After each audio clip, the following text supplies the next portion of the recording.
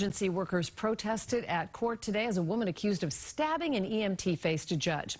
Now, that woman's lawyers are trying to make the case that she shouldn't be held responsible for the attack. But the victim definitely does not agree, as WBZ's Jordyn Jagolinzer shows us.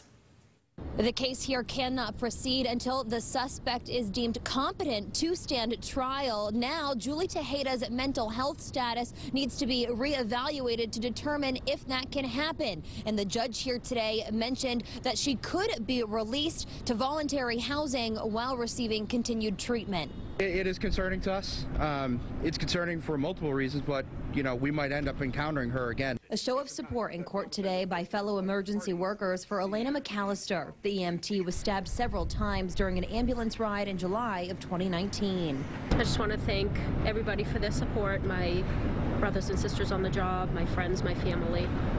It means the world to me. It made it much easier. The woman accused of the attack, Julie Tejeda, appeared in court virtually today. She's been committed to a mental health facility for nearly four years since the assault.